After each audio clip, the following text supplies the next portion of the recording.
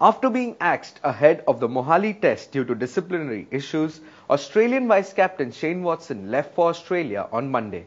However, Cricket Australia denied that Watson's departure was a result of the decision and said he was heading home to be with his pregnant wife. Australia's media manager Matt Cenin said, and I quote, He has not left in a huff.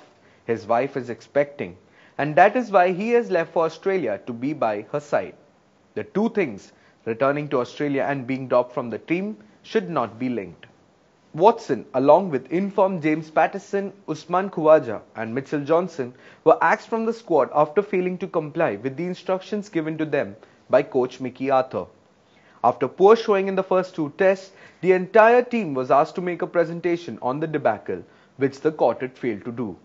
Watson, who is the second most experienced player in the Australian squad after Michael Clarke, was axed after failing to take part in a written review of the series so far. Coach Arthur made the stunning announcement of the axing on Monday morning, following which reports of Watson's return began to come in. If reports of Shane Watson's departure due to the axing are true, his career could well be under jeopardy.